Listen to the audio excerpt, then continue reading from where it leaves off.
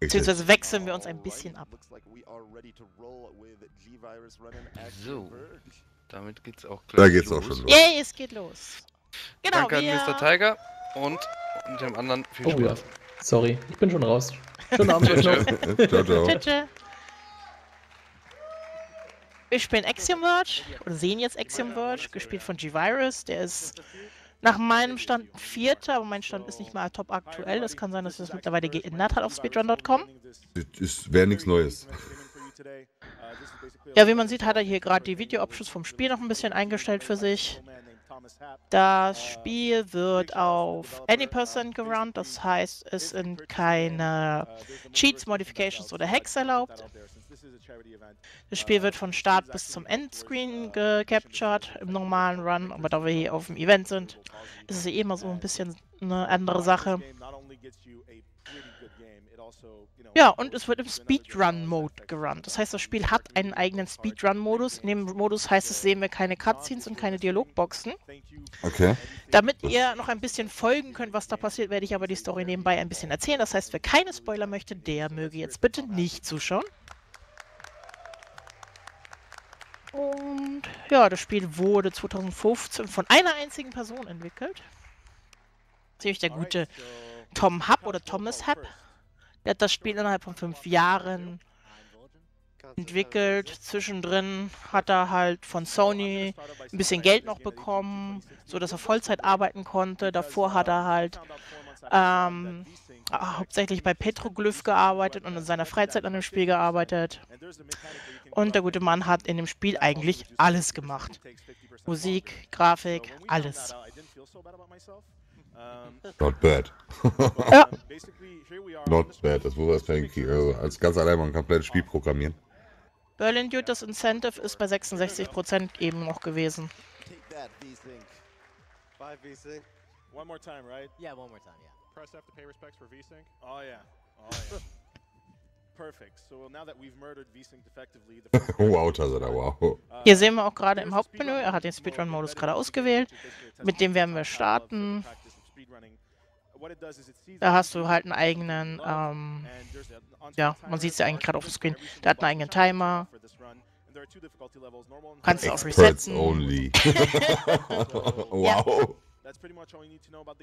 Ja, wie gesagt, du hast halt den Nachteil, du kannst nicht bestimmte äh, Goals erreichen im Speedrun-Mode. Oder kannst du schon, aber das ist halt nicht Sinn von dem Speedrun-Mode. Ja, klar. Was, wieso hier Solo? Was meinst du, Profiagi? So, es geht jetzt los. Wir spielen einen Forscher mit dem Namen Trace, der wacht in einer Alien-Welt auf, nachdem eines seiner Experimente schiefgegangen ist und ihm um die Ohren geflogen ist. Eine Stimme sagt ihm, wenn wir jetzt nicht im Speedrun-Modus ist, dass er in den nächsten Raum gehen soll, um dort eine Waffe zu finden. Die sammeln wir jetzt als allererstes erstmal ein. Das ist, wie gesagt, ganz normaler Ablauf hier. Wir haben gerade ein bisschen Text gesehen, das ist eine Beschreibung zu der Waffe. Den können wir so jetzt nicht lesen. Dafür gibt es nachher ähm, Dekodierungskarten, die nutzen wir aber nicht. Und ja, wir haben gerade gesehen, diese Eier, wenn man da drüber läuft, könnte er da drin speichern. Das nutzen wir aber im Speedrun nur an bestimmten Punkten. Warum erkläre ich auch dann gleich?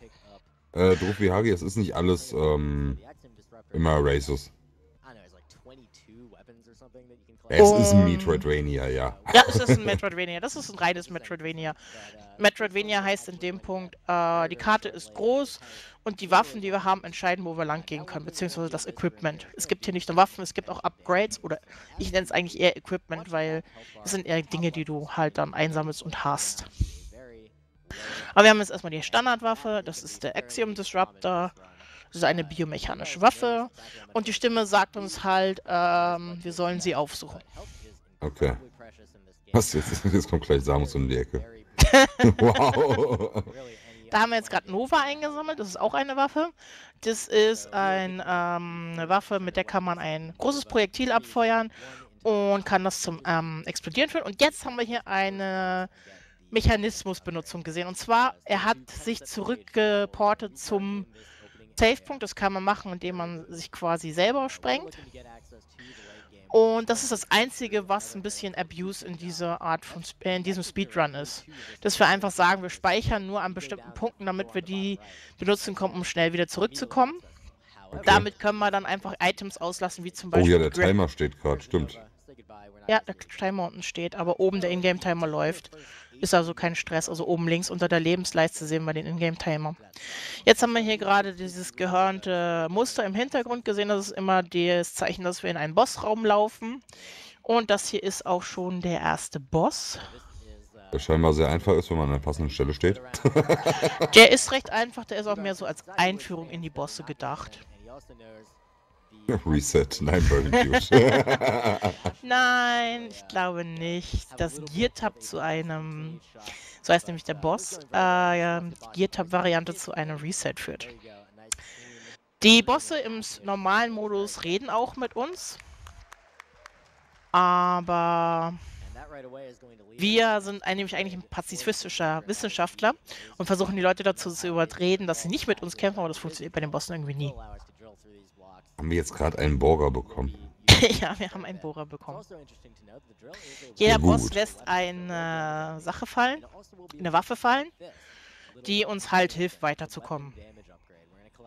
Dadurch, dass wir äh, durch die ähm, durch das Verwenden des Safe Spots ein paar Sachen überspringen, werden wir aber nicht alles einsammeln, was es gibt.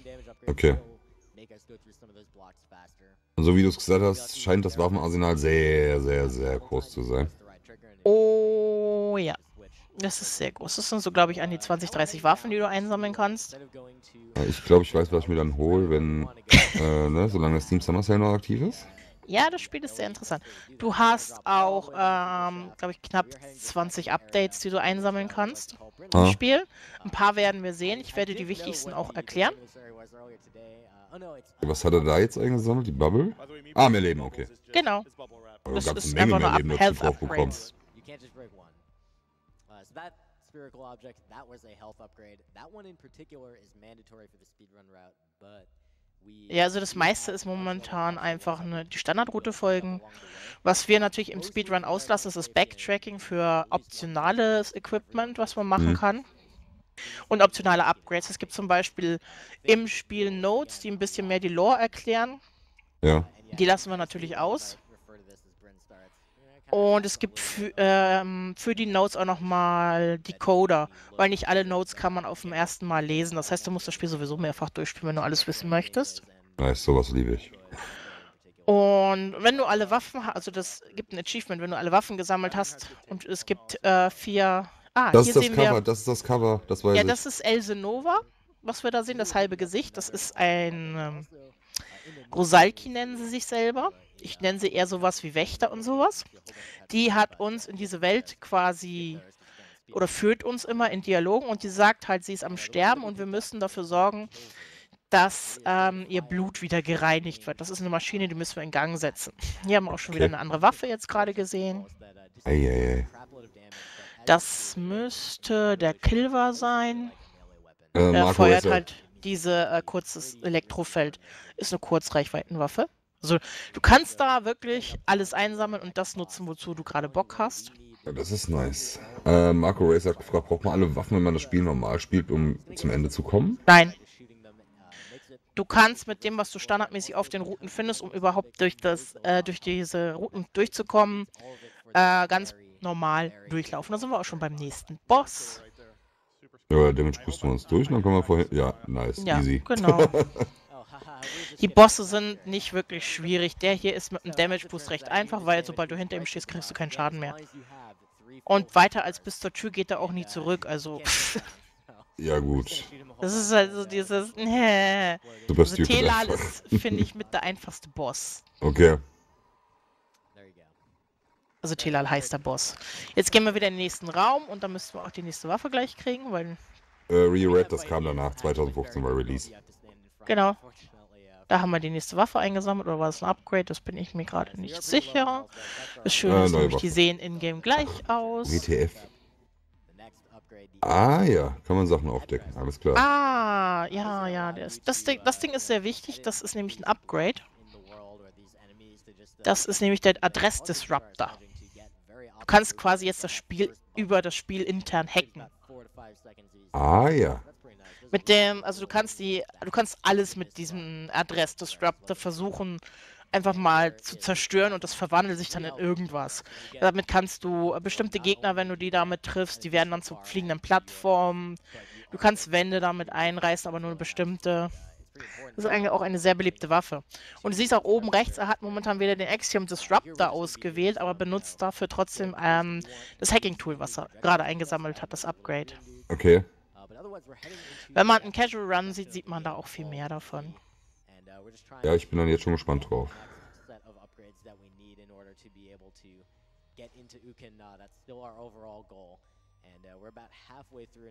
Ja, und hier ist, also wie gesagt, das Level so durchlaufen ist jetzt nicht groß Schwierigkeit. Er rennt halt durch, ignoriert die Gegner, die ihm nicht wirklich was können.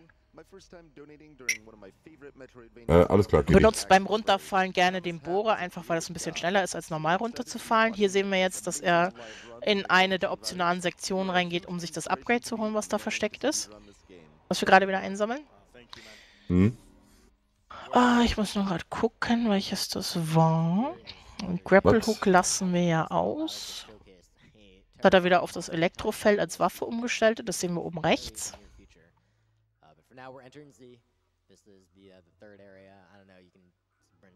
Ich finde die ganzen Charaktere auch interessant. Also auch die ganze Story ist interessant. Was wir so im Laufe der Story erfahren, ist zum Beispiel, dass die ganze Welt ähm, durch ein Virus der Bewohner beraubt wurde. Wie der Oberbösewicht der Athetos, das erzählt uns Elsenova relativ am Anfang. Hier sehen wir wieder, hier lassen wir wieder einen Save Point aus. Mhm. Und also wir haben eigentlich nur den Save Point am Anfang, den wir immer wieder nutzen, um uns zurückzuporten, weil das Spiel relativ hart ähm, den Startpunkt als Center, als Zentrum verwendet. Deswegen können wir das benutzen. Ähm, genau, Elsenova erzählt uns, dass dieser Artitos der Bösewicht ist, der hier halt die ganzen Bewohner zerstört hat und dass wir eigentlich quasi die letzte Rettung sind, weil wir sollen Elsenova helfen, dass sie wieder zu ihrer alten Stärke zurückkommt. Also die und ihren anderen Rosalki, die wir nachher noch sehen werden. Damit sie Artetos und wir, äh, damit sie mit uns zusammen Artetos besiegen können. Und Artetos hat halt ein Killer-Virus erschaffen, der die komplette äh, Einwohner von dieser Welt zerstört hat. Äh, wieso werden eigentlich nur ältere Spiele gespeedrunnt? Äh, nein, werden noch neuere. Axiom Verge finde ich jetzt nicht so alt mit 2015. Nee, das ich meine, 2015 ist, ist auf der PS4 rausgekommen und ein bisschen später jetzt auch für PC dann. Ja. Wir sehen ja danach auch noch Mega Man 9. Mega Man 9 ist jetzt auch nicht so alt. Nö. King Tazard, wir töten ja nicht alles. Wir töten nur das, was unser Leben bedroht, weil wir sind ja ein pazifistischer Wissenschaftler, der nur aus Versehen hier gelandet ist, weil uns unser Experiment um die Ohren geflogen ist. Ähm, Kaiser Gamer fragt, würde, äh, würdest du sagen, das Spiel ist schwer für Leute, die zum ersten Mal spielen? Ich, ich will spontan sagen, so typisch Metroidvania. Es ist Metroidvania. Wenn du Metroidvania-Spiele magst und dich ein bisschen auskennst, wird es wahrscheinlich Mittel sein. Ja. Wenn es deine erste Berührung mit einem, hier sehen wir jetzt zum Beispiel, hier benutzt er gerade den ähm, Adresszerstörer, um die Wand zu zerstören. Und er hat den Gegner geglitscht, deswegen blinkt er so komisch, der da an der Wand war. Äh, wenn du das dein erstes Metroidvania-Spiel ist, wirst du am Anfang einfach Probleme haben und öfters sterben. Wir töten nicht, sondern narkotisieren die Gegner nur, genau. nee, wir töten sie wirklich. Das ist auch so eine Diskussion, wenn du das im normalen Story-Modus spielst. Er diskutiert immer mit den Endbossen, weil er will sie nicht töten. Wow, Zikai, hast du wenig durch jemanden weiblich ersetzt oder ist er nur erkältet? wow. Nein, das ist die nette Traumfalke. Ja, ich habe mir äh, am Wochenende eine leichte Halserkältung zugezogen, aber die ist schon wieder so viel besser, dass ich kommentieren kann. Sonst würde ich hier nicht sitzen. Ihr müsst leider nur ein bisschen mit meinem Husten äh, leben. Ja, gut. Das ist ja bei dem momentanen Wetterwechsel wieder kein Wunder. Nee, nicht wirklich, leider. Hier sehen wir wieder, er benutzt wieder die Elektrowaffe. Also du siehst hier in diesem Run eigentlich nur die Elektrowaffe, den normalen Biomechanik-Disruptor und den Adress-Disruptor. Den sehen wir nachher auch nochmal in der äh, abgegradeten Variante. Hier siehst du nochmal, wie er wieder verwendet, das Ganze, um die Gegner zu manipulieren, damit die die Wand zerschießen können. Hier siehst du, wenn er die glitscht, in diesen Glitch-Zustand versetzt, können sie die Wand zerstören. Ist das diese Anzeige rechts unter der Karte dann immer diese Hieroglyphen? Genau, wenn du Hieroglyphen ah. unter der Karte siehst, dann ist er am Glitchen und wenn die eine bestimmte Länge erreichen oder dann weißt du, dass du fertig geglitscht hast, weil das braucht immer einen Moment, bis das ah. den Gegner glitschen kann. Es gibt auch Gegner, die können wir noch nicht glitschen, dafür brauchen wir halt das Update. Hier verwenden ah, ja. wir wieder den Drill, also den Bohrer. Das ist auch ein Upgrade für die reguläre Waffe. Du siehst ja oben rechts, er hatte eben noch das Elektrowaffe ausgewählt, aber hat den Bohrer verwendet. Okay. Das heißt, du hast quasi zwei Varianten. Du hast einmal eine aktive Waffe und du hast ein aktives Equipment, was du einsetzt. Das kann entweder der Adressdisruptor sein oder der Bohrer zum Beispiel.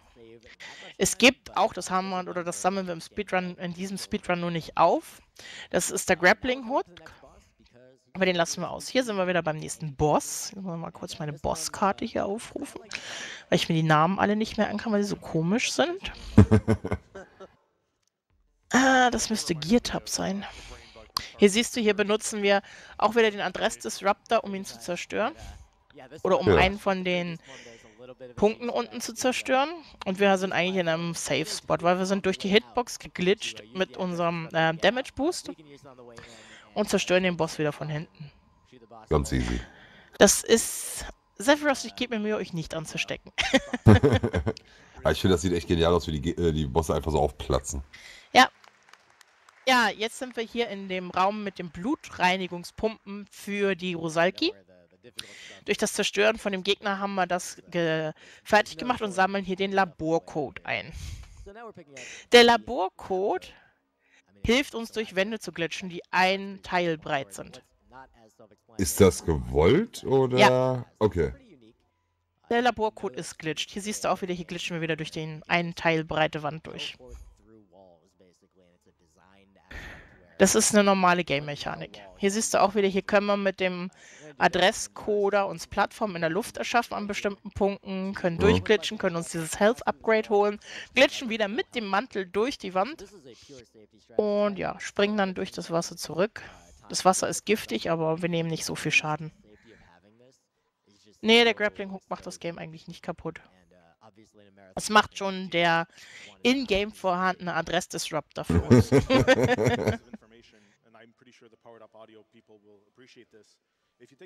Genau, äh, wir haben jetzt die Blutreinigungsmaschine befreit und Elsenova gibt uns, wenn wir einen normalen Modus spielen würden, jetzt äh, den Auftrag, dass wir die Nanomaschinen wieder aktivieren sollen, damit sie die äh, Rosaiki, die überall sind, wieder heile machen können. Ja. Äh, 8000 Weil, hat es einen Grund, dass er das Safe-Upgrade reinholt, Marathon-Safe, oder? Äh, ich würde sagen Marathon Safety und auch so holst du dir gerne die Health Upgrades, damit du. Also hier ist es, denke ich, Marathon Safety. Weil normal holt also er sich nicht alle. Er holt immer ein paar. Einfach weil du ab einem bestimmten Punkt eine Menge Schaden fressen können musst, weil das Spiel auch sehr stark davon lebt, dass du mit Damage Boost sich durch Gegner glitscht. Okay. Also gerade bei den Bossgegnern haben wir ja gesehen, ja, dass er gerne durch sie durch nach hinten glitscht, hinter die Hitbox, die meistens nicht so groß ist wie der Gegner selber. Hier haben wir wieder den Laborcode verwendet, um uns ein Upgrade zu holen. Hat die Zahl an den Waffen oben was zu bedeuten oder ist das einfach, auf welchem Slot die ist?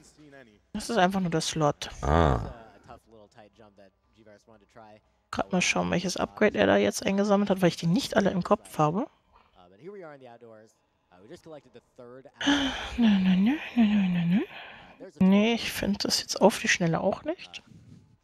Welches, das war wahrscheinlich dann eine Waffe, wenn ich sie nicht auf Anhieb finde. Genau, dann viel Spaß. Es ist einfach das Problem, wenn das Spiel hat so unheimlich viele Items und Waffen. Ja, das ist dann, ne? Hier sind wir mal in der Oberwelt von dem Planeten. Der ja leider keine normalen Bewohner mehr hat.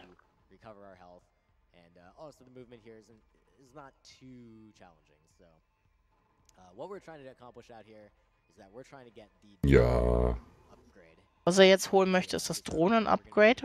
Damit kann er sein Bewusstsein in eine Drohne transferieren und mit der Drohne durch kleine Spalten durchlaufen, wo er normal nicht durchkommt. Hier sehen wir auch, wir brauchen den Laborcode zwingend, damit wir durch die Wände durchglitschen können. und weiterkommen im Spiel. Also das ist ein Must-Have. Wir haben auch oben rechts gesehen, wenn man mit dem Laborcode durch die einen Teil breiten Wände glitschen, erscheint da auch wieder dieses Gibberisch. Das ist auch äh, lesbar, wenn man die Encoder hat. Okay. Weiß es aber nicht, es gibt Massig drei... Mechanics hinter, ne? Das deckt man Ja. echt nicht. Das hat sehr viele Mechaniken. Du kannst hier die Gegner, könnte man auch mit dem Adress-Disruptor glitchen, aber das brauchen wir im Speedrun nicht, weil wir können sie einfach ignorieren. Geht schneller.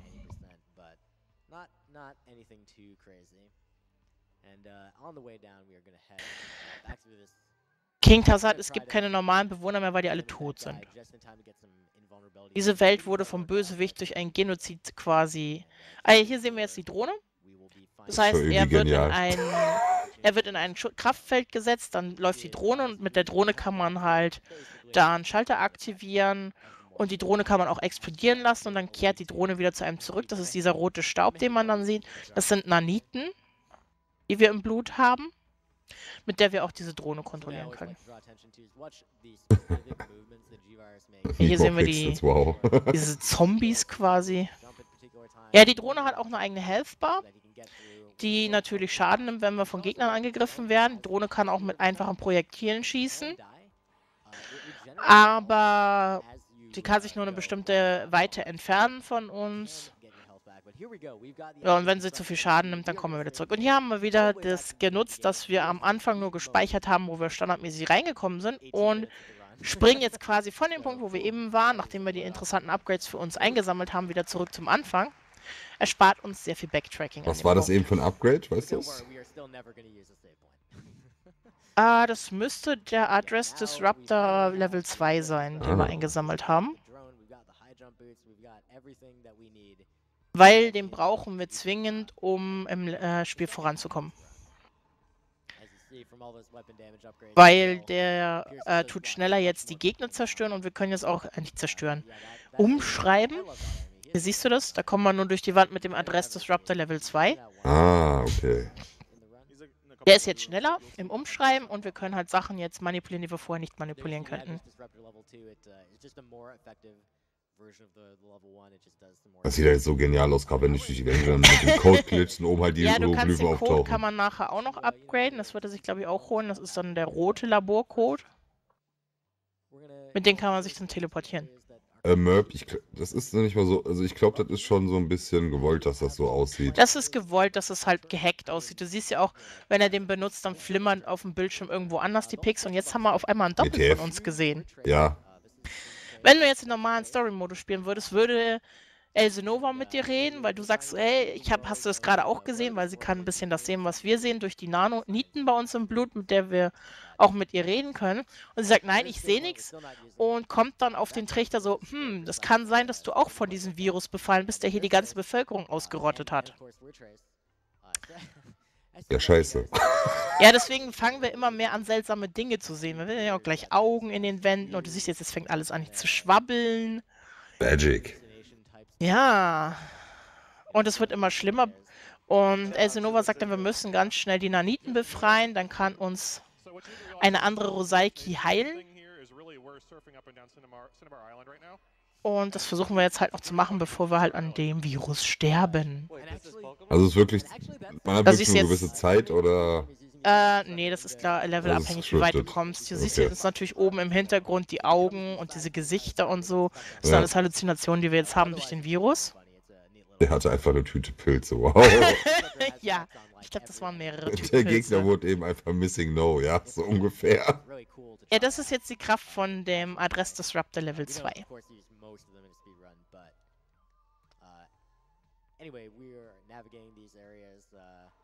Ja, seht, es wird hier immer weirder, je weiter wir jetzt gehen.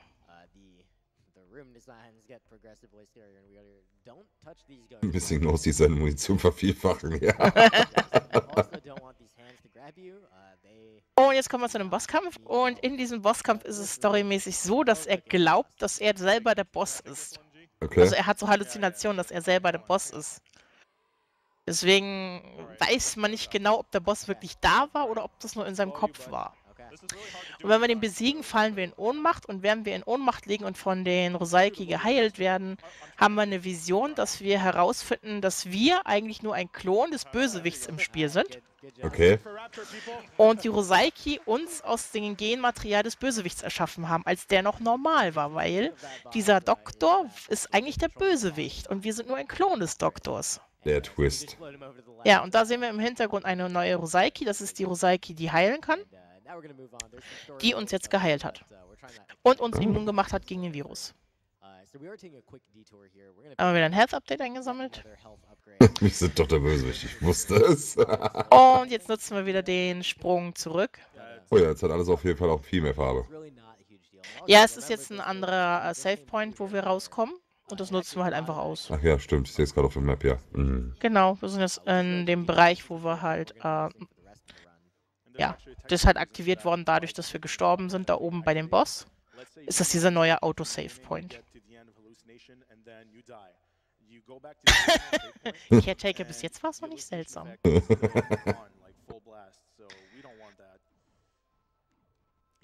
Ich muss gerade gucken, das war doch jetzt nicht Ophelia. Oder? Doch, das war Ophelia, die uns geheilt hat.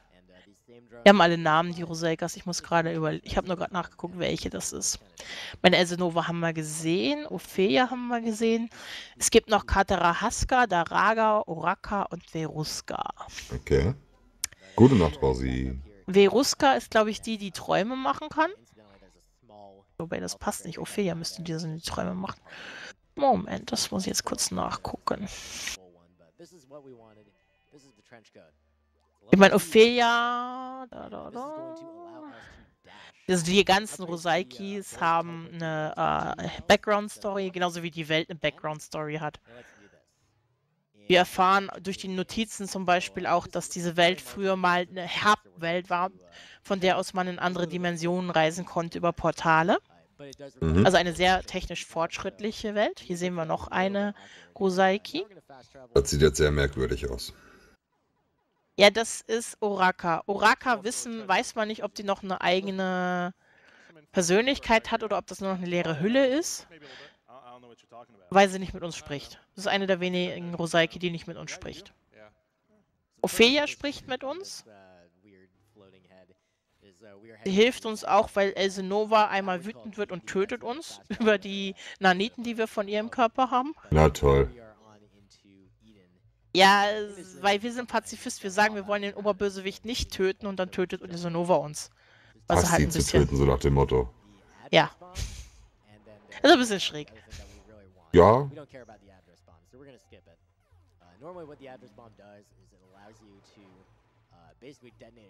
Also das Spiel hat eine sehr tiefe Lore. Ja, das denkt man halt manchmal echt nicht, ne? So, Gerade bei so Spielen, dass die irgendwie eine Ja, vor allem ist es nur von einer haben. Person. Ja. That's a that's a pretty big skip because there's actually an entire like extra boss in the way that you have to beat. hey, hey, get over here. Er hat da irgendwie jetzt gerade oh, oh God. kein Glück. Yeah, just, that was that was a heck of a troll. You do not. Oh, jetzt ah, hat zu viel Damage gefressen. Ja, aber du kannst speichern. Beim Speichern wird deine mhm. HP aufgefüllt.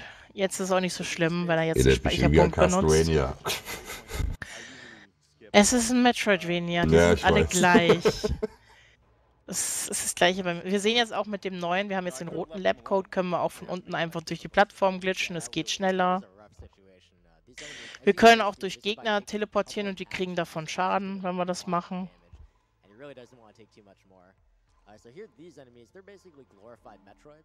Das macht es schon sehr angenehm mit dem Update. Ja. Spastia schreibt gerade, aber wieso will er den Oberking, äh, Oberking äh, nicht killen? Das bringt ihm, äh, was bringt ihm, äh, was bringt es ihm, wenn er den Typ noch, äh, wenn der Typ noch lebt? Ja gut. Also der Typ versucht momentan in dieser Welt ähm, die Portale zu öffnen, damit er frei die anderen Welten erforschen kann, weil er möchte den technischen Vorsprung von dieser Rasse und den anderen Welten der Menschheit zur Verfügung stellen, damit es ihr besser geht. Was man wissen muss, ist an dem Punkt, es sind halt schon zehntausende Jahre vergangen seit dem eigentlichen Unfall, wo dieser Wissenschaftler ursprünglich ähm, taub und blind geworden ist. Und als er taub und blind geworden ist, das ging jetzt schnell, das war auch ein Boss mit der ähm, Wespe. Und als er taub äh, und blind geworden ist, hat er halt angefangen mit seinem Nebenforscher wildeste Theorien aufzustellen über Parallelwelten, weswegen er von den anderen Wissenschaftlern verlacht wurde, bis er es geschafft hat, in diese Welt reinzukommen über ein Portal und mit der Technologie von dieser Welt seinen Körper wiederherzustellen. Dadurch hatten die Rosaiki halt seine DNA, um Trace zu klonen. Er ist halt nur mit der Zeit wahnsinnig ähm, ungeduldig und frustriert mit dieser Welt geworden, weil die Bewohner mittlerweile sich von einer hochtechnisierten Welt in eine hochreligiöse Welt gewandelt haben und die ganze Technologie verteufelt haben in dieser Welt. Und deswegen äh, das Reisen über die Portale verboten haben. Für die sind die Rosaiki auch mehr so gottgleiche Wesen dadurch geworden. Sprich, die haben ihre ganze Technologie vergessen und haben alles nur noch, alles nur noch religiösi religiösiert quasi. Du Scheiße. Und deswegen hat, äh, ist aus Trace dann Athenos geworden, der halt angefangen hat, ähm, diesen Virus zu entwickeln, hat sich mit ein, zwei Rosaiki auch gut gestellt und hat dann einen riesigen Krieg ausgelöst auf der Welt, der das dazu führte, dass der Virus halt die komplette Bevölkerung ausgemerzt hat, die Rosaiki schwer beschädigt hat. Eine Rosaiki ist auch getötet worden in dem Kampf, aber das war eine, die auf seiner Seite stand, also für uns jetzt kein Verlust. Also töten wir einen Haufen Fanatiker. Wir sind doch der Gute im Game. Also die Story ist relativ schwierig. Was auch ganz interessant ist, wenn du 100% Completion haben willst, musst du vier Special-Waffen einsammeln. Um diese Waffen einzusammeln, musst du dir Hacking-Codes über die Notes besorgen, die du verstreut im Spiel findest und die du auch nur mit den Decipherern ent, ähm, entschlüsseln kannst, um dann in Spezialwelten rüber zu wechseln, in denen du diese Waffen finden kannst. Und du kannst pro Durchlauf immer nur eine von diesen vier Waffen finden und welche dabei kommt, ist random. Ach du Scheiße. Also viel Spaß beim Durchspielen. okay, das mit 100%, 100 überlege ich mir dann nochmal.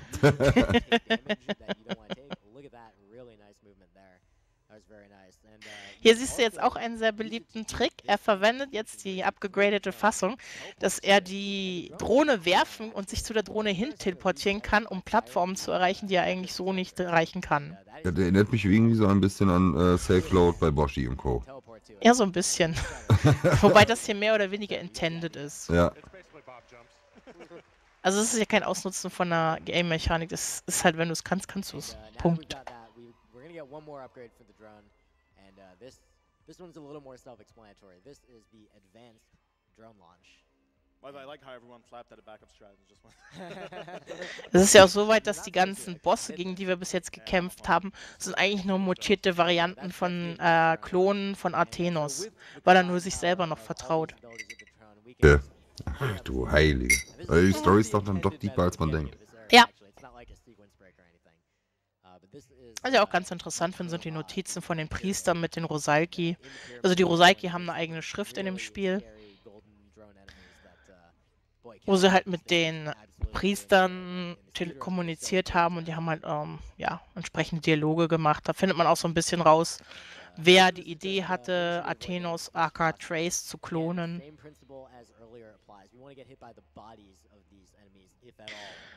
Und ja, unser Ziel ist eigentlich, wenn wir alles hergestellt haben, ganz hoch zu Athenos jetzt zu laufen, in seinem Elfenbeinturm, wo er versucht momentan das Schild, was um die Welt herum liegt, um sie zu schützen gegen die gegen so eine Art Nebel oder Energiesturm, der rund um diesen Planeten ist, ja. der richtig genutzt ist, ermöglicht, andere Welten zu erforschen, äh, zu zerstören. Hier sehen wir jetzt unten diese gelbe Leiste, das ist die Health Bar von unserer Drohne. Die Drohne hat schon was sehr Sympathisches, muss ich sagen. Ja, die ist ja auch sehr wichtig momentan, sehen wir ja. Die kann durch das Upgrade jetzt auch ein bisschen mehr Blöcke zerstören, hat ein bisschen mehr Leben. Ah ja, neues Upgrade. Genau. Das ist auch, man merkt halt, wir sind Speedrunner, wir wissen, wo die Sachen liegen. Ja, klar. Wir sehen jetzt auch, wir können mit dem Mantel jetzt durch, äh, durch die Wände durchglitschen, die etwas breiter als ein Teil sind.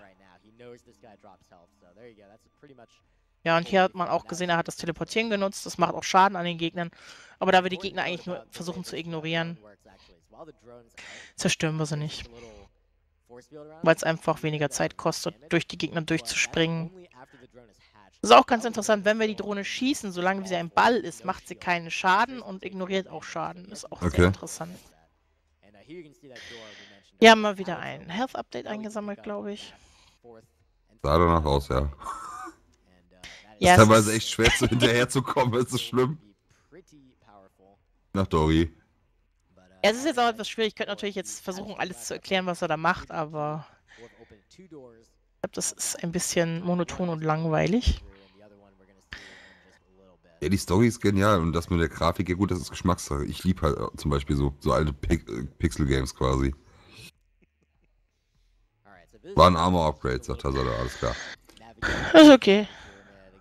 Ist das Wie Spiel gesagt, es gibt oder über, über man... 40, 50 verschiedene Waffen und Upgrades insgesamt. übel. Das habe ich mir jetzt nicht alles gemerkt, wie welches Icon aussieht.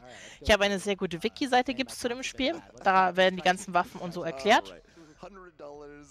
Wer da mal informa sich informieren möchte, ist das sehr interessant.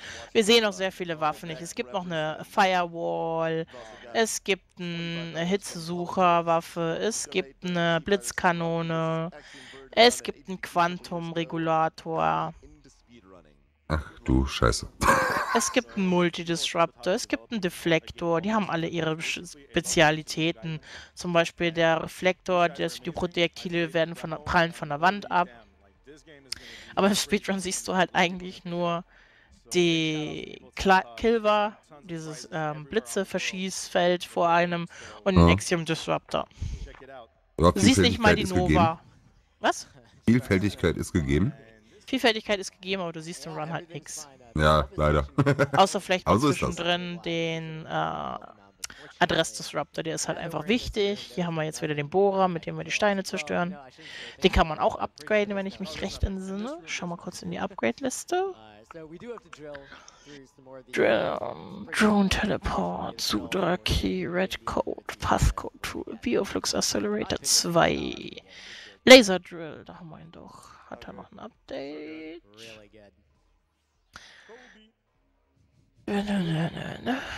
Ja, das stimmt, Möb. Das stimmt. Jetzt hat er, glaube ich, wieder einen anderen Code. Ja, ah, da. Wieder der Pixelwand hinter sich her. Ja. Das ist der rote. Ich glaube, das andere wäre schon der rote gewesen. Nur das Rot war nicht so deutlich. Okay, ja, gut. Ah ne, es gibt drei. Es gibt den, es gibt den ähm, modifizierten Laborcode, das ist der weiße. Dann gibt es den Trenchcode, das ist der braune. Und dann gibt es den roten Code.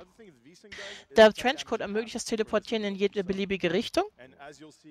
Der rote Code ähm, ermöglicht das Beschädigen von Teils und Gegnern in deinem Pfad. Ah, okay. Da bin ich gerade ein bisschen durcheinander gekommen. Du darfst gerne fragen, wenn du was nicht besch- verstehst oder wenn ich zu schnell bin. Ja, wir sehen, wir sind wieder im grünen Bereich. Wir machen jetzt ein bisschen Backtracking, weil wir es machen müssen. Und das ist, glaube ich, auch mit einer der Schwierigkeiten. Ja, jetzt nutzen wir wieder die Drohne zum Hochboosten. Da haben wir gerade eine Notiz gesehen. Dieses grüne, was wir ignoriert haben, ist eine Notiz. Ist das jetzt so intended, dass er da hochjumpt? So? Du hast normalerweise den Grappling Hook an der Stelle und da wir den nicht Ah, okay. haben, benutzen wir diese Methode. Ja, warum nicht? Also, Deswegen brauchen wir den Grappling Hook nicht unbedingt, weil wir uns mit der Drohne hochkatapultieren können, so wie wir es gerade machen. Und der Lab Code tut das Übrige. Äh, nicht der Red, der Red Code, nicht der Lab Code. wow. Also als normaler Casual-Spieler werdet ihr das nicht so machen. Könnt's versuchen. Das, das kann man im Speedrun immer schwer beurteilen. Äh, Beziehungsweise gar nicht. Also, I was gonna try to remember the actual one, but it's It's Turian. Torian. That's actually Mar Uru. Sure. Ja, Black. Sheep so ungefähr. Turian. Yeah. So this area Ja, Übung bei. Metroid. Äh, Infinite Bomb Jump. Ah, ja. Ja. Bombjump, der will gelernt sein. Da habe ich schon Leute weinend dran verzweifeln sehen. Mhm. Ach nee, das war der Infinite Wall Jump. Da sind Tai Tai und ich. Äh, So, jetzt sind wir dem, äh, dabei, den Turm hochzusteigen, wo oben Athenos drinne auf uns wartet. Hier sind die Bosse jetzt nicht mehr human, also die haben keine Köpfe oder Arme mehr. Früher hat, die hatten noch irgendwie Arme und Köpfe und die sind jetzt nur noch rein technisch. Okay. Sind aber angeblich auch immer noch Klone von Athenus. Ja, der ist ganz gut durchgekommen. Oh, easy. Ja, der gibt jetzt auch den Weg frei, dass wir weiter nach oben kommen. Was ich auch ein nettes Detail finde, wenn du... Oh, die haben wir gar nicht eingesammelt. Es gibt ein Upgrade, dann hast du auf dem Rücken so lustige Tentakel rauskommen, wenn du äh, Maximum Leben hast. Weiß nicht, ob das jetzt der Grappling Hook ist oder ob das die Bioflux Accelerator 1 und 2 sind. Ich glaube, das müsste der Bioflux Accelerator sein, der dir die Tentakel gibt. Äh, Black Mirror, ja. Es ist definitiv vielseitiger, was das Movement angeht, als Super Metroid. Alles klar, Kitty. Oh, da den ersten Boss wieder. Ja, Aber okay. den können wir ignorieren. Das ist kein Must-Have, den zu zerstören. Und du kriegst auch ein Achievement, wenn du ihn ignorierst. Wir kommen auch zwischendrin in so eine Chamber mit äh, Klonkammern, wo wir einen Klon sehen, der dabei ist, sich selbst zu zerstören, einfach weil die Klonmaterie instabil ist. Und da hast du auch die Wahl. Du kannst ihn töten oder du wartest einfach, bis er sich selbst zerstört. Und je nachdem, was du machst, kriegst du ein Achievement. Das heißt, du musst die Stelle mindestens zweimal spielen. Und da sind wir beim Oberboss. Das ist Athenos. Athenos ist von seinem eigenen Virus befallen. Deswegen kann er nur in dieser komischen Kammer mit dieser Flüssigkeit überleben. Okay. Und er hat erstmal einen Dialog und versucht uns zu überzeugen, dass er gut ist, aber das äh, glauben wir ihm nicht. Und hier sehen wir rechts Else Nova wieder vollkommen hergestellt, hilft sie uns im Kampf. Ach du Scheiße. Die haben verschiedene Körper, die äh, Rosaiki diese benutzen können für verschiedene Aufgaben. Und sie hat halt diesen wurmartigen Kampfkörper. Okay, äh, gute Nacht, Deswegen- General. Risa Senpai, gar keinen. Hatte ich schon seit ich 14 bin. Da habe ich nicht geraucht, kein Whisky, nichts. Es gibt einfach Menschen, die haben so eine Stimme. Exo ist einer davon. Richtig. Ja, zwischendrin, wenn Else Nova schießt, haben wir nicht viel zu tun. Da müssen wir kurz warten. Und das nutzen wir, um oben den grünen Punkt zu attackieren. Boah, die machen ganz schön Schaden, hey. Ja. Deswegen versuchst du möglichst viel mit dem Lab-Code zu glitchen, weil wenn du mit dem Lab-Code am Teleportieren bist, bist du in, ähm, kannst du nicht getroffen werden. Hast du iFrames, also ja.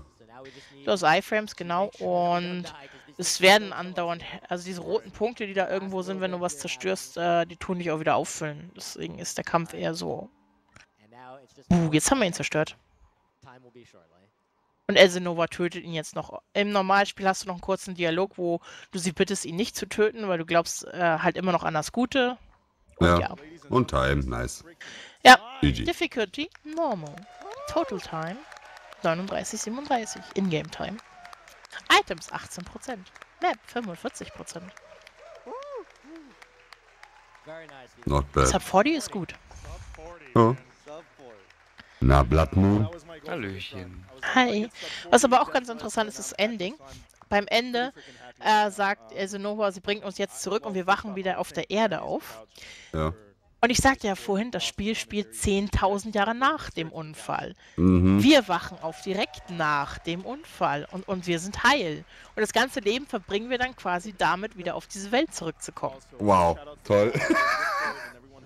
In der Community wird hart darum gestritten, ob das nicht einfach nur ein Traum ist, den uns eine von den Rosaikis, weil da gibt es die Träumerin, die kann schöne Träume erschaffen, um die Leute psychisch zu entlasten, ob wir nicht einfach nur schlafen. Weil, wenn du das Spiel 100% äh, durchspielst, kommt am Ende auch noch Athenos und sagt, es ist Zeit aufzuwachen und erschießt einen. Also, das Ah, Spiel ja. ist weird. Ja, ein wenig.